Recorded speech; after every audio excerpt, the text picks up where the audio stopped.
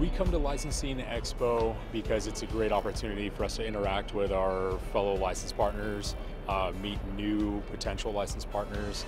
Uh, plus, it's just a great overall environment to be in. There's lots of new snippets. You know, the licensors are getting very good at holding things back and only revealing them at the show. So you're not here, you snooze, you lose. I think it's incredibly important to uh, to be here to, just get a little peek behind the curtain.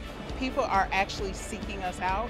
You know, people that we didn't even book meetings with. They're coming and saying, Are you Nikki? We build really neat characters, uh, digital humans for Michael Jackson and Elvis Presley and Marilyn Monroe. We're finding all new channels of revenue for those characters and uh, applications that we never really imagined in our core uh, business of managing those celebrities. I would absolutely recommend people uh, to come here and enjoy being part of the show, being part of the program.